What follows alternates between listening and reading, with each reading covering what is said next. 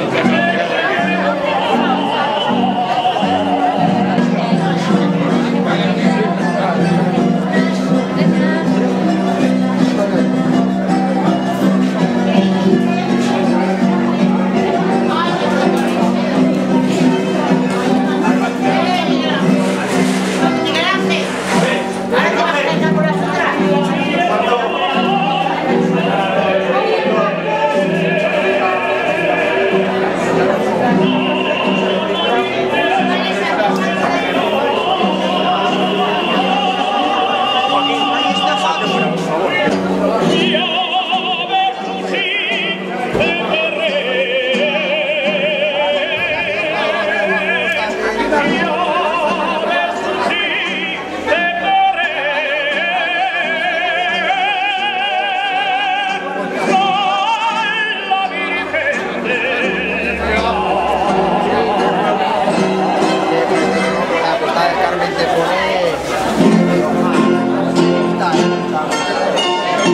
Música